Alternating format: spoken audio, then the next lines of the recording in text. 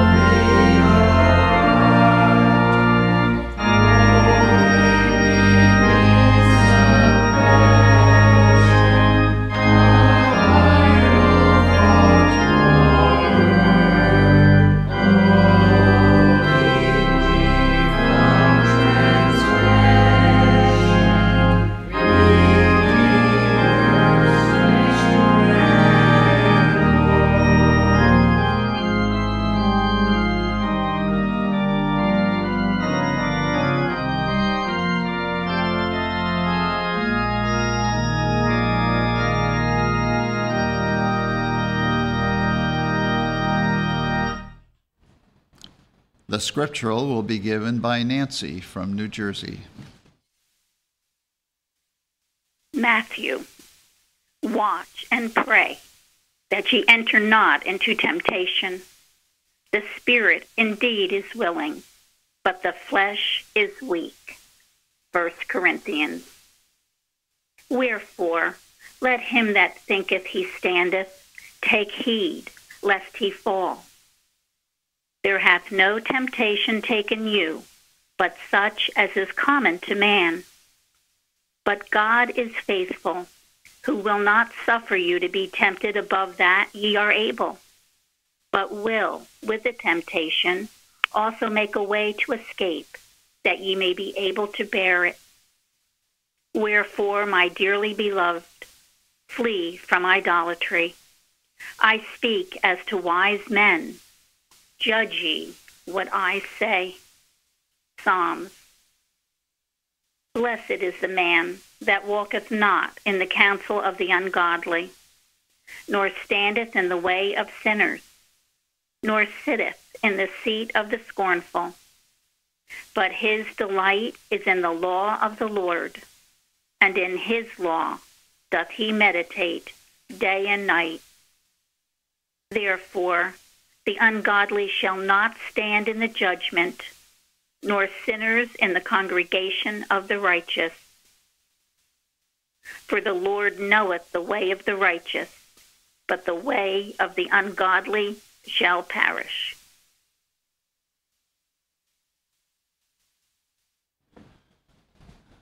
Let us now have a moment of silent prayer and follow with the Lord's Prayer and its spiritual interpretation as given in the Christian Science textbook.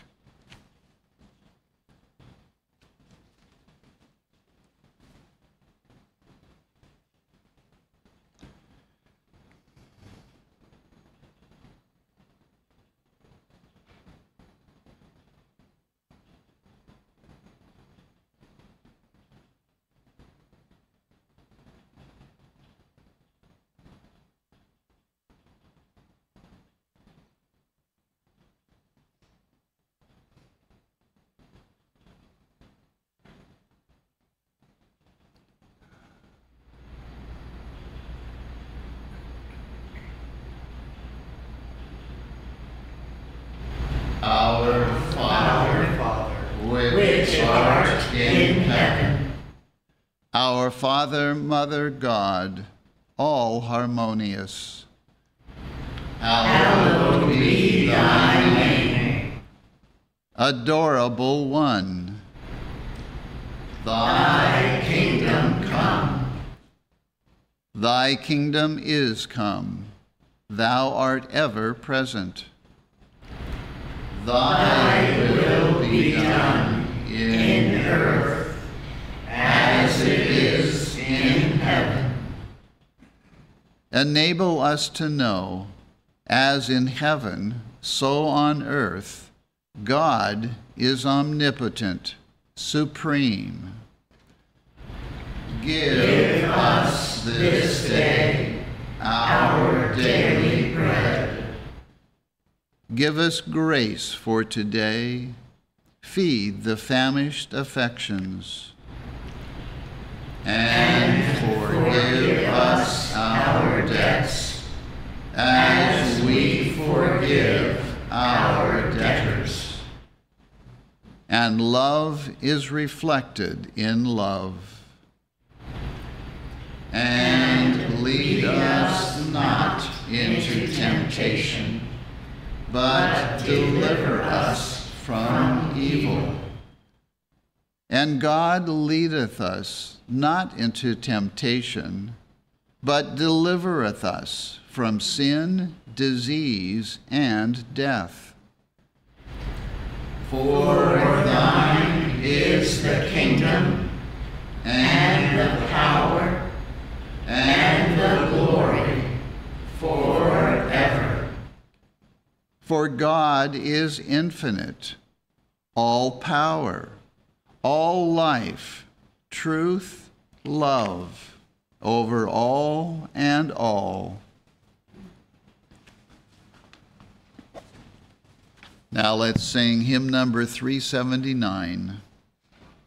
Well for him who, all things losing, even himself doth count as naught Still, the one thing needful choosing, that with, with all true bliss is fraught. Hymn number 379.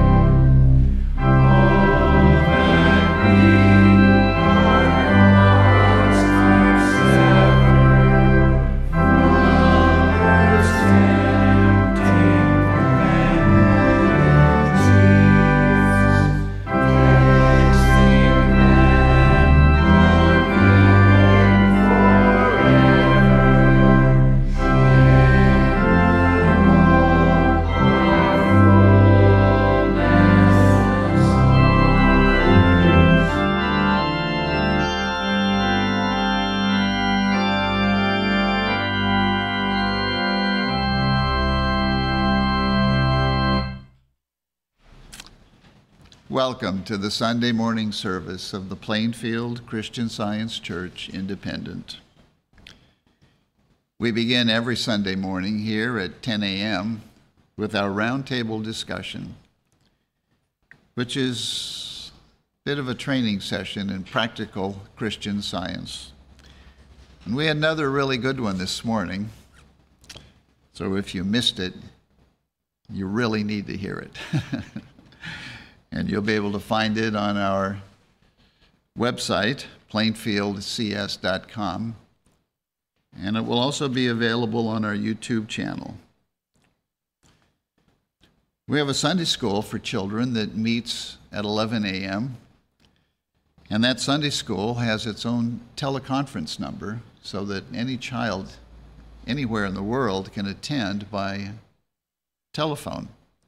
And in fact, many of our students are from out of state and they do attend by telephone. So if you don't live in the area and you have a child of Sunday school age, please call us and we'll give you the number and would love to welcome your child to our Sunday school. We have a testimony meeting every Wednesday evening at 8:15 where you can hear testimonies of healings and lives literally saved through the study and practice of Christian science. And we have a nursery available for infants and toddlers for all of our services. We have many websites in many different languages where we send the Word of God, Christian Science, out over the internet to everyone, every, literally everyone in the world, and often in their own language.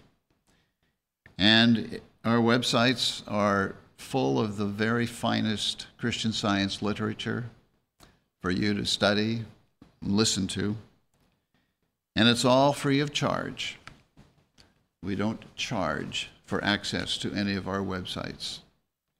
Freely we have received, and freely we give.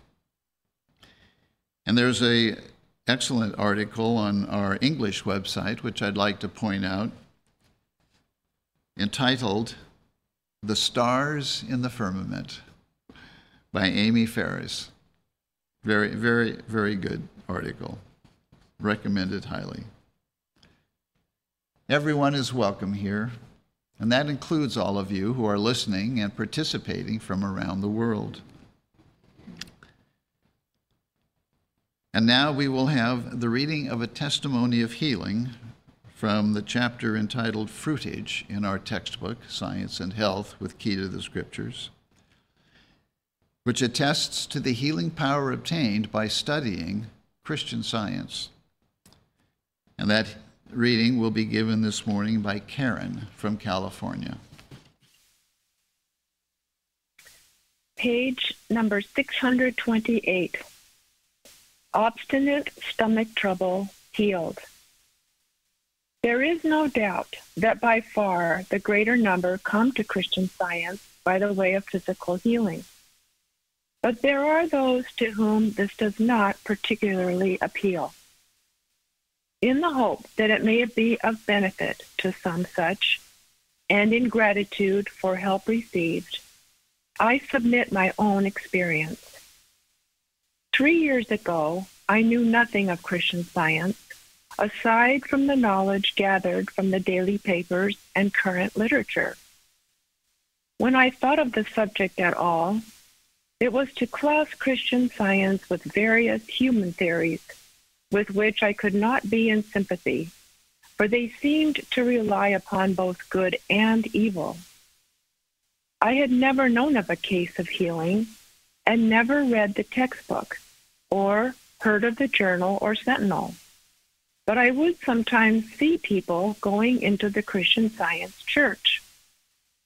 I was tired of trying to find anything satisfactory in religious belief, for it seemed as if God either could not or would not bring into harmony the terrible conditions existing in human society. I had quit using any form of prayer except the Lord's Prayer, and even then omitted the words, Lead us not into temptation. How I longed to know just a little of the why and wherefore of it all. Here is where Christian Science found me. I was thrown in contact with a dear friend of whom I had seen very little for a year or more, a thoroughly educated woman and a thinker. She told me she had taken some treatments in Christian Science for a physical trouble and had become very much interested in the study of science and health with Key to the Scriptures by Mrs. Eddy. She asked me if I would like to look at the book, and I said I would be glad to do so. The first chapter, Prayer, appealed to me from the first, and when I came to Mrs. Eddy's spiritual sense of the Lord's Prayer, Science and Health, page 17, my interest was fully aroused. I knew that in a dim way, I was learning what it means to pray without ceasing. Very soon, I bought a book of my own, and with the help of our lesson sermons, as given in the quarterly, I began in earnest the study of science and health in connection with the Bible. I stood very much in need of physical healing at this time, having suffered for several years from an obstinate form of stomach trouble. So far as I know, I gave no thought to the benefits I might derive physically from the study. But I did believe this science held the truth of things, and I was so absorbed in getting an understanding of the principle that I thought very little of myself. After about three or four months' study, I realized that the stomach trouble was gone, and with it went other physical troubles, which have never returned. This healing was brought about by the earnest, conscientious seeking for the truth, as contained in the Bible and interpreted by our leader in our textbook, Science and Health. I have since learned more of the science of healing and have been able in a small way to help others in need. I have also learned that in living and loving is healing realized. And in reflecting divine love, I have the signs following. When we think of the pure, loving, unselfish life Mrs. Eddy must have lived in order to become conscious of this truth and give it to us, words are a poor medium through which to express the gratitude which her followers feel for her. It is best expressed by obediently following her, even as she is following Christ. H. T. Omaha, Nebraska.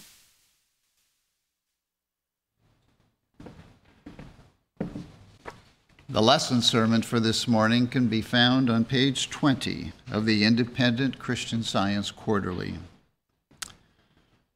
Subject Man. The golden text is from 1 Corinthians. For ye are bought with a price. Therefore glorify God in your body and in your spirit, which are God's. The responsive reading is from James. Blessed is the man that endureth temptation, for when he is tried, he shall receive the crown of life, which the Lord hath promised to them that love him. Let, Let no man say when he is tempted, I am tempted of God. For God cannot be tempted with evil, neither tempteth he any man. But every man is tempted when he is drawn away of his own lust and enticed. Wherefore, lay apart all filthiness and superfluity of naughtiness, and receive with meekness the engrafted word, which is able to save your souls. But be ye doers of the word, and not hearers only, deceiving your own selves. But whosoever looketh into the perfect law of liberty and continueth therein, he being not a forgetful hearer, but a doer of the work, this man shall be blessed in his deed. Fairly from Maryland will now read. The Bible, Genesis. So God created man in his own image. In the image of God created he him. Male and female created he them. And God saw everything that he had made. And behold, it was very good. Exodus. And God spake all these words, saying, I am the Lord thy God, which have brought thee out of the land of Egypt, out of the house of bondage. Thou shalt have no other gods before me. Thou shalt not kill. Thou shalt not commit adultery. Thou shalt not covet thy neighbor's house. Thou shalt not covet thy neighbor's wife, nor his manservant, nor his maidservant, nor his ox, nor his ass, nor anything that is thy neighbor's. Second Samuel. And it came to pass in an evening tide that David arose from off his bed and walked upon the roof of the king's house. And from the roof he saw a woman washing herself. And the woman was very beautiful to look upon. And David sent and inquired after the woman. And one said, Is not this Bathsheba, the daughter of Eliam, the wife of Uriah the Hittite? And David sent messengers and took her. And she came in unto him, and he lay with her. For she was purified from her uncleanness, and she returned unto her house. And the woman conceived and sent and told David and said, I am with child. And David sent to Joab, saying, Send me Uriah the Hittite. And Joab sent Uriah to David. And it came to pass in the morning that David wrote a letter to Joab and sent it by the hand of Uriah. And he wrote in the letter, saying, Set ye Uriah in the forefront of the hottest battle, and retire ye from him, that he may be smitten and die. And when the wife of Uriah heard that Uriah, her husband, was dead, she mourned for her husband. And when the mourning was past, David sent and fetched her to his house, and she became his wife and bare him a son. But the thing that David had done displeased the Lord. Matthew. And Jesus went about all Galilee, teaching in their synagogues and preaching the gospel of the kingdom, and healing all manner of sickness and all manner of disease among the people. And he opened his mouth and taught them, saying, After this manner, therefore, pray ye, and lead us not into temptation, but deliver us from evil.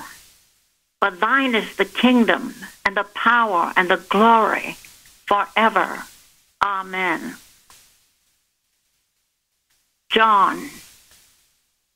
And early in the morning he came again into the temple, and all the people came unto him, and he sat down and taught them. And the scribes and the Pharisees brought unto him a woman taken in adultery. And when they had set her in the midst, they say unto him, Master, this woman was taken in adultery in the very act. Now Moses in the law commanded us that such should be stoned. But what sayest thou? This they said, tempting him, that they might have to accuse him. But Jesus stooped down and with his finger wrote on the ground as though he heard them not. So when they continued asking him, he lifted up himself and said unto them, He that is without sin among you, let him first cast a stone at her. And again he stooped down and wrote on the ground. And they which heard it, being convicted by their own conscience, went out one by one, beginning at the eldest, even unto the last. And Jesus was left alone, and the woman standing in the midst. When Jesus had lifted up himself and saw none but the woman, he said unto her, Woman, where are those thine accusers? Have no man condemned thee? She said, No man, Lord. And Jesus said unto her, Neither do I condemn thee. Go and sin no more. First Corinthians. What? Know ye not that your body is the temple of the Holy Ghost, which is in you, which ye have of God, and ye are not your own? Galatians. Stand fast, therefore, in the liberty wherewith Christ hath made us free, and be not entangled again with the yoke of bondage.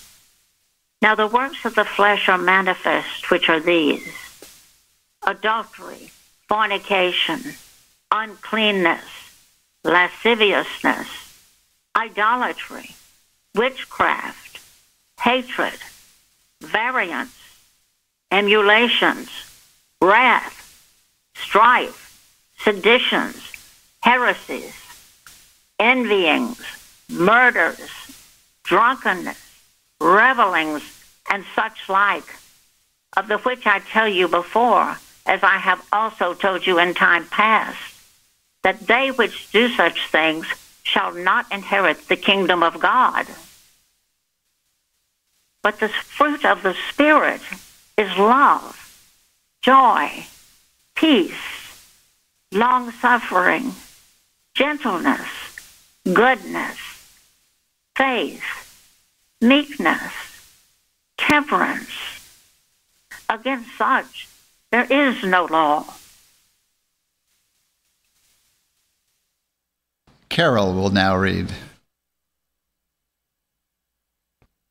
I will read correlative passages from the Christian Science textbook, Science and Health with Key to the Scriptures by Mary Baker Eddy. Man made in his likeness, possesses and reflects God's dominion over all the earth. Deity was satisfied with his work. How could he be otherwise, since the spiritual creation was the outgrowth, the emanation of his infinite self containment and immortal wisdom? There is but one real attraction, that of spirit.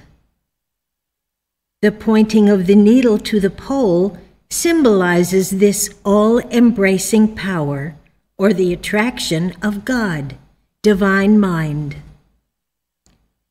Sensualism is not bliss, but bondage. For true happiness, man must harmonize with his principle, divine love. The Son must be in accord with the Father, in conformity with Christ. According to divine science, man is in a degree as perfect as the mind that forms him.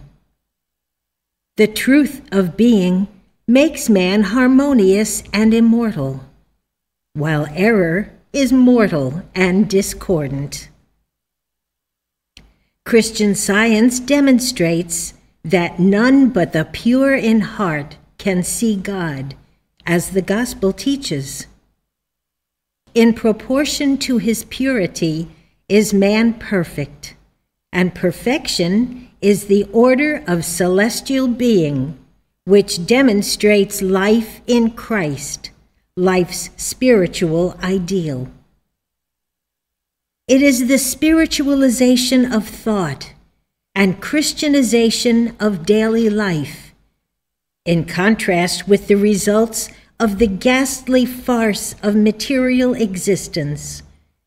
It is chastity and purity which contrast with the downward tendencies and earthward gravitation of sensualism and impurity, which really attests the divine origin and operation of Christian science.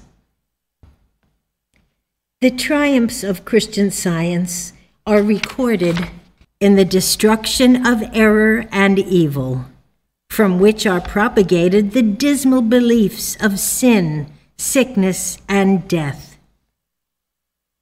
Jesus was unselfish. His spirituality separated him from sensuousness and caused the selfish materialist to hate him. But it was this spirituality which enabled Jesus to heal the sick, cast out evil, and raise the dead. Jesus knew the generation to be wicked and adulterous, seeking the material more than the spiritual. His thrusts at materialism were sharp but needed. Jesus' prayer, Forgive us our debts, specified also the terms of forgiveness. When forgiving the adulterous woman, he said, Go and sin no more. His consummate example was for the salvation of us all, but only through doing the works which he did and taught others to do. His purpose in healing was not alone to restore health, but to demonstrate his divine principle. He was inspired by God by truth and love in all that he said and did.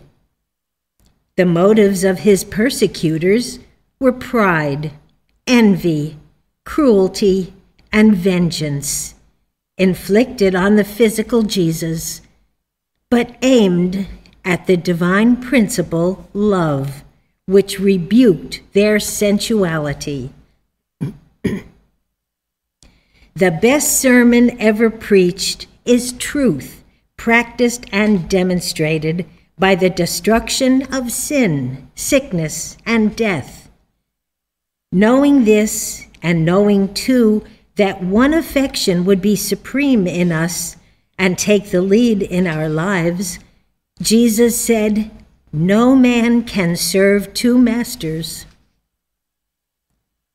We cannot build safely on false foundations. Truth makes a new creature, in whom old things pass away, and all things are become new. Passions, selfishness, false appetites, hatred, fear, all sensuality yield to spirituality, and the superabundance of being is on the side of God good. We cannot fill vessels already full. They must first be emptied. Let us disrobe error. Then, when the winds of God blow, we shall not hug our tatters close about us. The way to extract error from mortal mind is to pour in truth through flood tides of love. Christian perfection is one on no other basis. Grafting holiness upon unholiness, supposing that sin can be forgiven when it is not forsaken, is as foolish as straining out gnats and swallowing camels. In a world of sin and sensuality, hastening to a greater development of power, it is wise earnestly to consider whether it is the human mind or the divine mind which is influencing one. Infidelity to the marriage covenant is the social scourge of all races, the pestilence that walketh in darkness, the destruction that wasteth at noonday. The commandment, Thou shalt not commit adultery, is no less imperative than the one, Thou shalt not kill. Chastity is the cement of civilization and progress. Without it, there is no stability in society, and without it, one cannot attain the science of life. You must control evil thoughts in the first instance, or they will control you in the second. Jesus declared that to look with desire on forbidden objects was to break a moral precept. He laid great stress on the action of the human mind unseen to the senses. Evil thoughts and aims reach no farther and do no more harm than one's belief permits. Evil thoughts, lusts, and malicious purposes cannot go forth like wandering pollen from one human mind to another finding unsuspected lodgment, if virtue and truth build a strong defense. Resist evil, error of every sort, and it will flee from you. Error is opposed to life. We can and ultimately shall so rise as to avail ourselves in every direction of the supremacy of truth over error, life over death, and good over evil. And this growth will go on until we arrive at the fullness of God's idea, and no more fear that we shall be sick and die. Soul has infinite resources with which to bless mankind and happiness would be more readily attained and would be more secure in our keeping if sought in soul. Higher enjoyments alone can satisfy the cravings of immortal man. When the illusion of sickness or sin tempts you, cling steadfastly to God and His idea. Allow nothing but His likeness to abide in your thought. Let neither fear nor doubt overshadow your clear sense and calm trust that the recognition of life harmonious, as life eternally is, can destroy any painful sense of or belief in that which life is not. Let Christian science, instead of corporeal sense, support your understanding of being. And this understanding will supplant error with truth, replace mortality with immortality, and silence discord with harmony. Man is God's reflection, needing no cultivation, but ever beautiful and complete.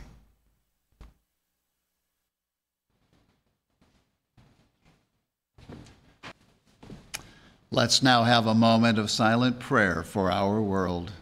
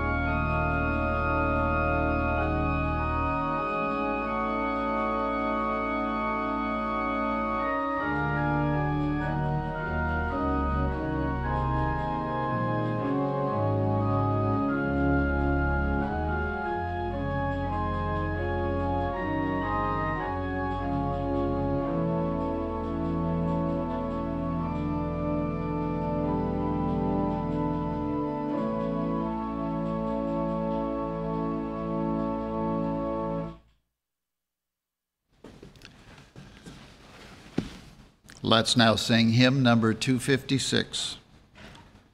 The words of this hymn are by Mary Baker Eddy. O'er waiting harp strings of the mind, there sweeps a strain, low, sad, and sweet, whose measures bind the power of pain, and wake a white winged angel throng of thoughts, illumed by faith, and breathed in raptured song with love perfumed. Hymn number 256.